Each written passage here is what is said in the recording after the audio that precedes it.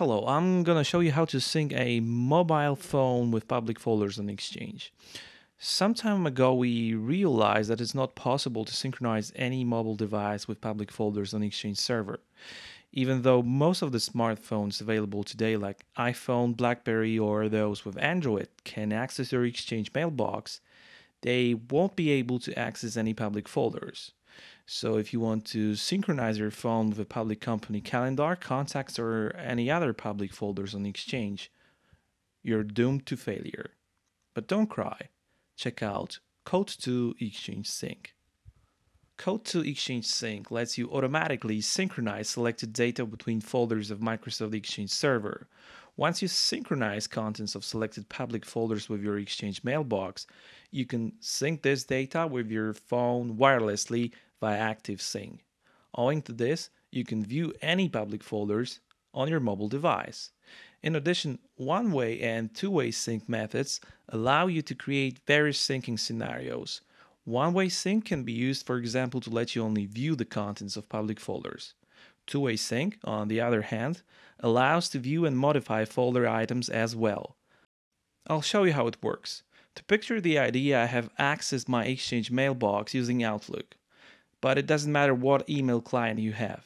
And here's the issue. This is my personal Exchange calendar that I always easily sync with my iPhone. And this is a calendar in Exchange public folders. I want to sync with my mobile device. To be able to sync it with my phone, I need to sync both of these calendars first. And CodeTwo Exchange Sync will help me do this. To start any synchronization task, you have to create it first. I'm going to select two-way sync, folder ring, which will allow me to make changes in public folders. Okay, it's been created and now it's displayed in the left pane. This window displays all mailboxes on a given server. I'm going to select folders I want to synchronize with each other now.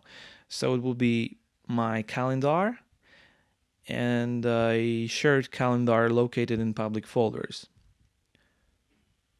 Once I close the window and save the changes, CodeTwo Exchange Sync will automatically restart its service and will synchronize these calendars.